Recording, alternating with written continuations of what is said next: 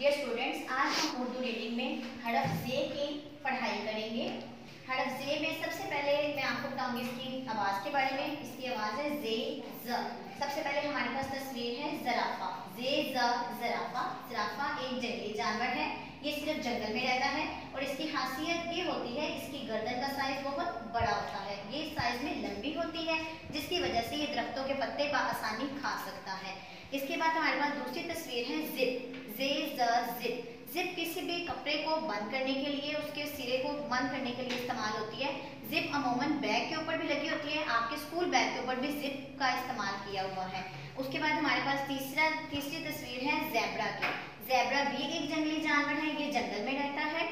इसकी body black और white colour की होती है। इसकी बॉडी पे स्ट्राइप्स बनी हुई होती हैं। जे जराफा जे जिप जा जैबरा अब मैं आपको जे की लिखाई के बारे में बताऊँगी। रे और अड़े की तरह पहले हम सीधा वन लिख लेंगे, उसके बाद यहाँ पर हम एक कर्व बना देंगे और इसके ऊपर एक डॉट लगा देंगे। जे, ज।